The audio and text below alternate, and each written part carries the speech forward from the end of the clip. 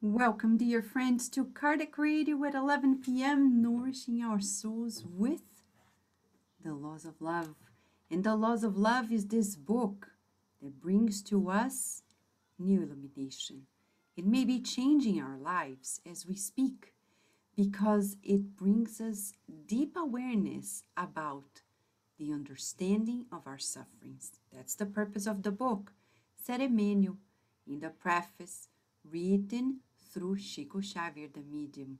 But another medium came along and joined forces in this book, Waldo Vieira. This book is a phenomenon. It, brought to, it was brought to us in 1963. And today we're here with you at Kardec Radio to share the wonderful news. The news that our suffering has explanations, reasons, and solutions. And today we're going to talk about the simplest solution to obsession, which is the last question of chapter 5.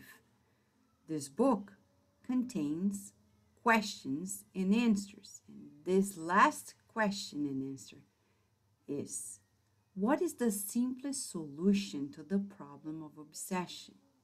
Obsession is this persistent, negative influence of a mind over another, and it may happen individually or collectively.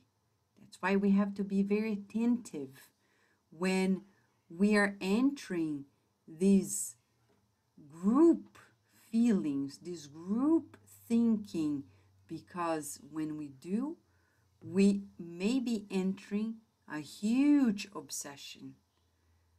But today we're going to talk about solution. And what is the simplest solution to obsession? The answer. Emmanuel says, let us dedicate ourselves to the construction of the general good. At each day and each hour, while we walk among noble or unbalanced spirits, being carnated or discarnated, it will always be a question of choice and attunement. We understand that children may reply to so many of our questions saying, I don't know why I do this. But when we become adults, we must know. Why am I feeling this way? Why am I acting in that way? Why am I speaking this or that? And why am I doing this or the other? There are reasons why. We always have a choice. There's always a choice. And the question is when we make a choice, consciously or unconsciously, natural, excuse me, naturally, we're going to connect to other minds who are incarnated or discarnated. It's the law of the mental field. I emit and then I attract what I have emitted.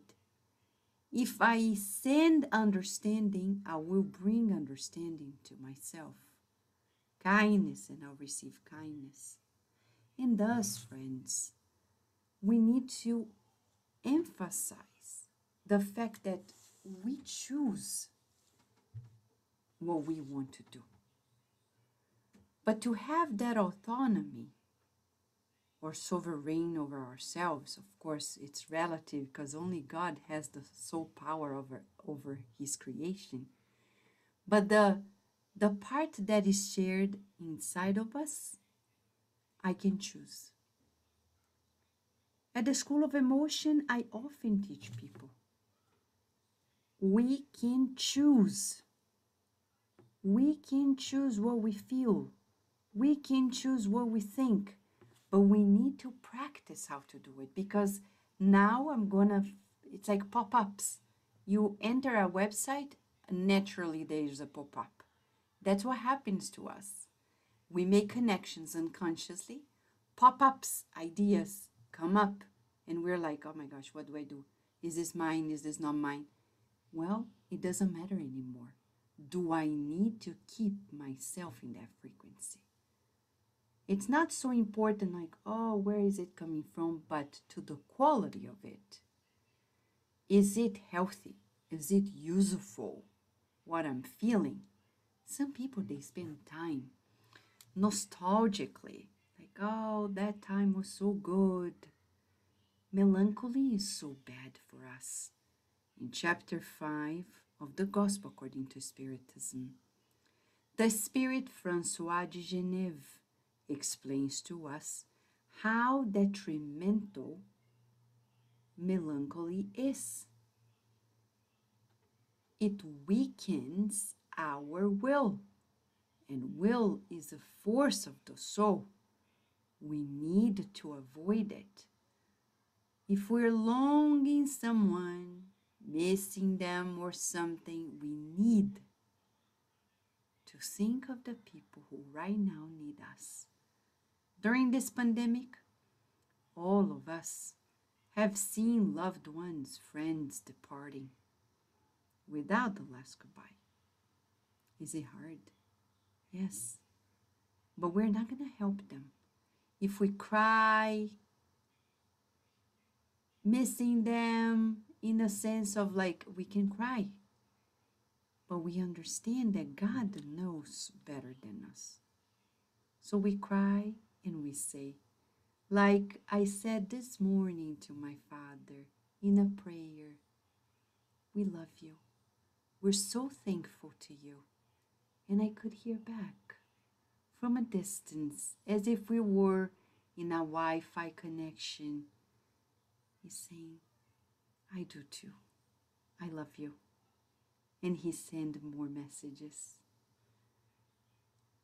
So we cry out of joy for knowing that we've spent time together.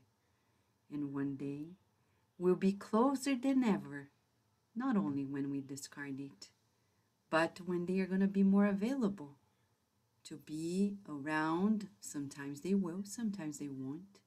Or when they reincarnate, or when we discarnate, we don't know. But it's our choice. We can choose joy or sadness. We can choose compassion or cruelty. We can choose loving embrace or indifference. It's up to us. But we need to rest assured that once I connect, once I choose, I enter the Wi Fi of everybody who is making that same choice. And that may be a wonderful thing or a terrible thing. Let us not forget that Emmanuel is reminding us that when we are amongst people who are more noble than us, let us be humble, recognize, learn from them. And that's going to raise our vibrations in humility. And when we recognize that there are people who need our help, let us help them out. Sometimes they are unbalanced, like we are unbalanced sometimes, and we want somebody to help us out. Let us reach out to them in prayers, in kindness, in thoughts, and encouragement. And thus, we'll be building the general good. You and I are honored today by the simplest solution to life to dedicate ourselves to the construction of the general good. So here's the invitation for the next 24 hours. You and I will be thinking and feeling and visualizing and molding the good with all the resources we have at hand. We're going to do something to build the good for all, even if it is on a Sunday morning to wake up prepared to give something to someone who is in the streets, or to stop by at a shelter and deliver a donation to the dogs that are in there. Or we are going to walk in nature and pray for so many people who are in the hospitals, or deliver some pizzas to those who are working hard in emergency rooms. So many options. reaching out to neighbors, reaching out to family members, to people whom we don't know.